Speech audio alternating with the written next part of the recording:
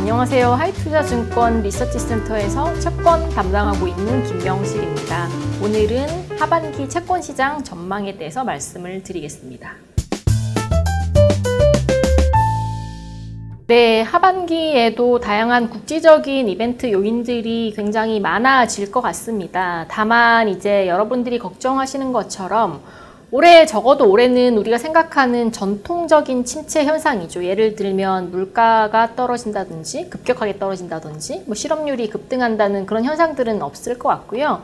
다만 그럼에도 불구하고 뭐 상반기에 지역은행 이벤트들처럼 하반기에는 실질적으로 경기에 스트레스를 줄 수 있는 요인들 중 하나로 상업용 부동산들의 가치 하락 문제 그리고 여기에 엮인 금융기관들의 대출 부실화 가능성들이 가장 큰 이벤트 요인이라고 보고 있습니다. 여기에 대해서 추가적으로 말씀을 드리면 일단 그림에서처럼 올해 상업용 부동산의 가격 낙폭은 고점 대비 대략 한 15% 정도 떨어졌습니다. 물론 금융위기 당시인 30%에는 미치지 못하는 수치긴 하지만 아직까지 이제 추가적으로 시간들이 많이 남은 만큼 최대 25에서 뭐 30%까지 더 떨어질 수 있다는 얘기들이 크게 나오고 있고요. 거기에 대한 가장 큰 원인 중 하나는 뭐 첫 번째로는 지금 미국의 오피스 가격 중심으로 오피스 가격의 공실률이 급격하게 늘어나는 부분들도 있고요. 두 번째는 대출적인 측면에서 올해와 내년도 상업용 부동산 관련한 대출 만기들이 그림에서 보시는 것처럼 상당 부분 올려 있다는 점이 큰 리스크 요인으로 작용을 할 수 있을 것 같습니다. 뭐 올해 대출 만기가 몰려 있는 만큼 대출 재융자에 대한 기관들의 니즈들은 높아질 것 같은데 아시다시피 다시피 미국은 상반기에 지역은행 파산 문제를 겪으면서 은행권들에 대한 모든 대출 유형에 대한 기준들이 굉장히 엄격해졌습니다. 뭐 이전 대비 대출을 쉽게 받을 수 있는 환경들은 아니고요. 그리고 뭐 어렵게 대출을 겨우 받는다고 하더라도 과거 대비 높아진 대출 금리 수준에 대한 부담들 분명히 상업용 부동산의 문제점으로 작용할 수 있을 것 같습니다. 뭐 두 번째로는 상업용 부동산과 관련된 금융기관들의 익스포저인데요. 아시다시피 지난 상반기 동안은 이제 주요 지방은행들의 채권 관련 포트폴리오 손실이 미국 금융 리스크의 가장 큰 문제로 작용을 했었다라면 이번 같은 경우는 금융기관들의 CRE, 즉 상업용 부동산 익스포저가 두 번째 문제점으로 자리 잡을 것 같습니다. 아래 표를 보시면 현재 금융기관들의 CRE 대출액 중 은행권들의 보유 비중이 약 60% 정도를 가지고 있고요. 그리고 비단 은행권뿐만 아니라 보험회사의 상업용 부동산 관련된 비중도 낮은 편이 아닙니다. 특히나 보험회사 같은 경우는 상업용 부동산 내에서도 LTV 비율이 상대적으로 높은 오피스 관련된 대출의 비중이 굉장히 높습니다. 그만큼 오피스 가격의 가락, 가격, 가락, 가격 하락이 커지면 커질수록 LTV 비율이 추가로 상승할 수 있는 여력들도 높은 상황입니다. 상황이고요. 뭐 앞서 말씀드린 것처럼 하반기에 상업용 부동산들의 가격 낙폭이 더욱 심해질수록 뭐 이런 관련된 금융기관들이 겪는 손실도 평균 이상이 될 가능성들이 굉장히 큽니다. 뭐 최악의 케이스로 올해 하반기에 상업용 부동산들의 포지션들이 포지션들을 중심으로 채권자들이 자산을 청산하거나 처분하기 시작하면 답이 조금 없어질 것 같고요. 뭐 앞서 말씀드린 것처럼 상업용 부동산들의 수익성이 떨어질 수 있다는 점, 자산 가격이 더 빠질 수 있다는 점, 그리고 대출의 부실화 가능성들에 대한 리스크들은 더욱 높아질 가능성 크다라고 보고 있습니다. 뭐 마지막으로 보실 차트는 지금 CMBS의 특별 관리 비율 차트고요. 뭐 CMBS 특별 관리 비율이라고 하면 뭐 디폴트가 발생했을 때 특별 관리 단계에 들어가서 뭐 예를 들면 채무 재조정이라든지 만기 연장이나 자산 매각의 형태로 관리가 들어간 자산들에 대한 비중인데요.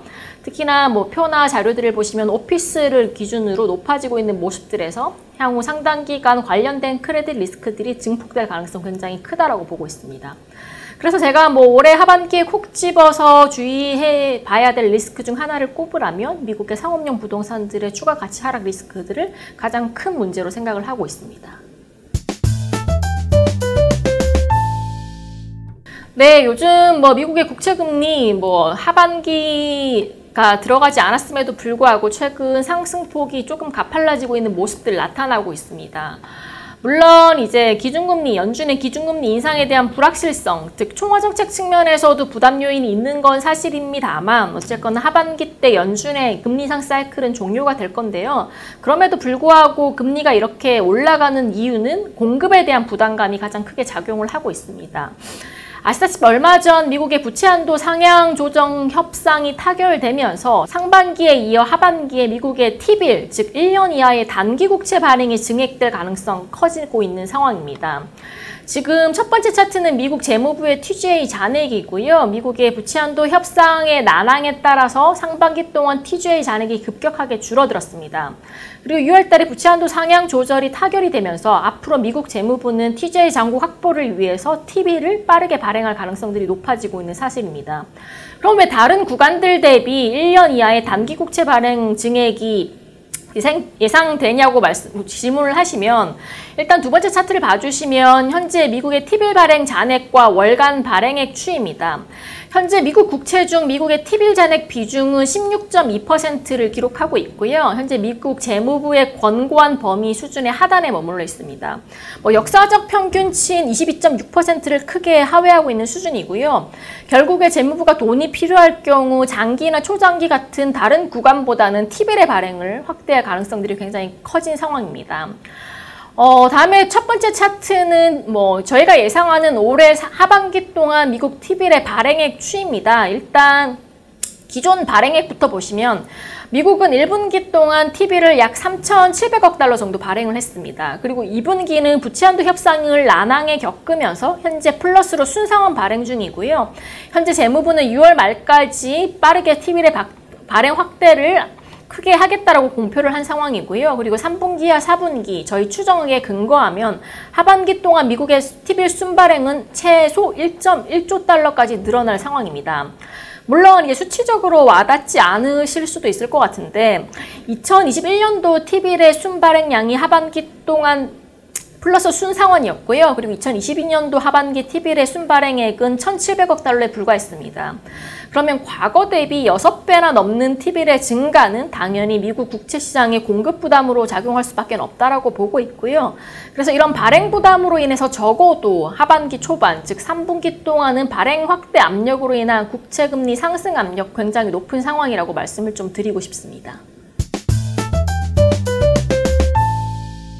네, 뭐 국내 채권 시장에서 가장 큰 문제점 중 하나는 하반기 추경의 가능성일 것 같습니다. 그럼 왜 이렇게 추경 얘기들이 나오고 있을지에 대해서 조금 더 알아보면 어, 두 번째 차트를 봐주시면 올해 1월부터 3월까지 국세 수입 진도율 추입니다. 현재 1월부터 3월까지 누적 국세 수입 진도율은 21.7%로 과거 최근 5년 그리고 직전 연도 대비해서 상당폭 하회를 하고 있는 상황입니다. 그러면 나라에서 세금이 왜 이렇게 안 거쳤냐? 가장 첫 번째 이유는 법인세의 급격한 감소였고요. 두 번째로는 뭐 작년부터 부동산 거래 시장이 부진하다 보니까 부동산 관련된 세금들도 급격하게 줄어들면서 올해 정부에 대한 세수 감소가 눈에 띄게 커진 상황이라고 보시면 되실 것 같습니다. 그럼 올해 어느 정도 세수 디폴트가 나올 수 있는지에 대해서 추측을 좀 해보면 첫 번째 차트에 저는 케이스 1과 케이스 2 두 사례를 통해서 대략 올해 부족할 수 있는 세수 부족분을 추정을 해봤습니다. 일단 케이스 1은 1월부터 3월까지는 올해 국세 수입이 부진했지만 뭐 다행스럽게도 4월부터 12월까지는 작년 수준으로 세금이 거친다라고 가정을 했을 때 올해 국세 수입 부족분은 대략 28조 정도 발생을 합니다. 그리고 두 번째 최악의 케이스로 1월부터 3월까지도 부진을 했는데 4월부터 12월까지도 지금 수준 정도로 부진세가 지속이 될 경우 올해 국세 수입은 52조 정도가 부족한 상황이고요. 그 중간값을 한 40조 원이라고 가정을 했을 때 현재 국가에서 가용 재원으로 쓸 수 있는 자원을 8, 자원이 8.2조 정도 추정이 되고 있기 때문에 실질적으로 필요한 재원은 32조 정도로 계산을 좀 해볼 수가 있을 것 같고요. 뭐 결국 작년 대비 올해 국고채의 추가적인 순 발행 증가가 필요한 상황이라고 보시면 되실 것 같습니다. 이런 세수 부족분은 아무래도 추경을 통해서 추가적으로 재원 마련에 나설 가능성들이 크다라고 보고 있는데요. 물론 여기에 대해서 정부 측에서의 반박이 굉장히 큰 상황입니다. 현재까지도 뭐 기재부에서는 추경의 가능성들은 아직 검토하고 있지 않다라는 답변을 하고 있는 상황인데요. 결국에 하반기 정부는 선택을 할 수밖에 없을 것 같습니다. 두 가지 선택지가 있을 것 같고요. 첫 번째로는 추경을 하지 않되 하반기 정부 지출을 줄이면서 뭐 부족한 세수 부족분을 쓰지 않겠다.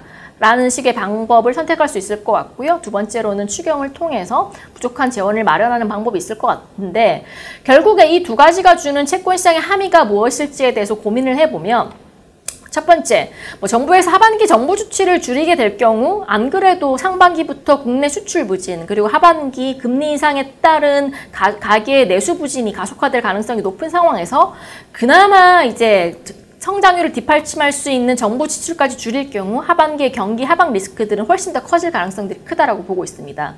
그렇기 때문에 쉽게 추경을 할지 안 할지에 대해서 결단을 내리기는 조금 어려운 상황일 것 같고요. 만약에 여력이 되지 않을 경우 하반기에 정부에서는 추경 집행을 통해서 추가적인 재원 확보에 나설 공산이 크다라고 보고 있습니다.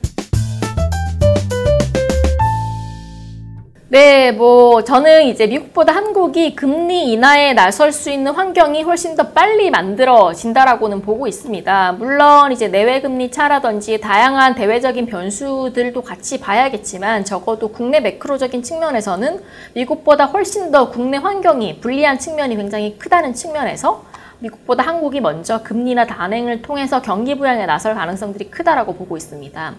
일단 가장 걱정되는 건 올해 국내 성장률일 것 같고요. 현재 5월달 한국은행은 금통위를 통해서 국내 성장률 전망치를 기존 1.6%에서 1.4%로 하향 조정했습니다. 뭐 그럼에도 불구하고 여전히 한국은행은 올해 성장률에 대한 패스를 상저하고로 바라보고 있는 상황이고요. 다만 그럼에도 불구하고 뭐 제가 생각하기로 올해 하반기 부진했던 수출이 상반기 부진했던 수출이 하반기에 급격하게 회복될 가능성들이 크지는 않다라고 보고 있습니다. 물론 기저 효과로 인해서 상반기 대비 하반기 플러스 수출을 기대해 볼 수 있겠지만 뭐 큰 수준은 아니라는 판단이고요. 두 번째로 앞서 말씀드렸다시피 최근 부동산 가격 하락에 따른 자산 소득 감소와 금리 인상에 따른 이자 비용 부담 그리고 공공요금 인상 같은 부분들을 통해서 가계 실질 구매력이 계속적으로 악화되고 있는 상황입니다. 결국 이런 부분들은 내수 소비에 대한 둔화들을 유발할 가능성들이 크다라고 보고 있고요. 따라서 내수와 수출 부진이 동반되면서 올해 경장률, 경제 성장률 자체는 뭐 최대 1.0%뭐 조금 좋게 보면 1.2% 정도까지 하향 조정될 가능성들 크다라고 보고 있습니다. 두 번째로 중요한 키는 물가일 것 같고요. 아시다시피 지금 5월달 물가 상승률이 3.3%, 뭐 저희 추정치에 대비해서는 조금 올라가긴 했지만 3.3%를 기록하면서 국내 소비자 물가는 안정적인 둔화 경로로 진입을 한 상태입니다. 지금 이제 시장에서 가장 걱정하는 건 공공요금 인상, 그리고 9월 달부터 적용되는 유류세이나 해제가 하반기 물가에 영향을 미치면서 한국은행의 금리 인하를 좀 어렵게 하지 않을까라는 기후들이 있는데요. 결론적으로 말씀드리면 하반기 공공요금 인상과 그리고 유류세 인하 해제 같은 요인들을 다 반영한다고 하더라도 3분기 국내 소비자 물가는 2%대 진입할 가능성들이 크다라고 보고 있고요. 뭐 4분기에 기저로 물가가 상승한다고 하더라도 3% 중반을 넘어서기는 어려울 것으로 보여지고 있습니다.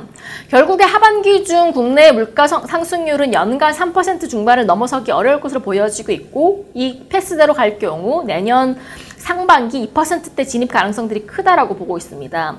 결국에 미국보다 먼저 물가 상승률의 둔화가 빠르게 진행되고 거기에다가 성장률 부담이 커지는 만큼 오히려 연준보다는 한국은행이 먼저 빠르면 내년 초에 금리나 단행할 가능성 크다라고 보고 있습니다.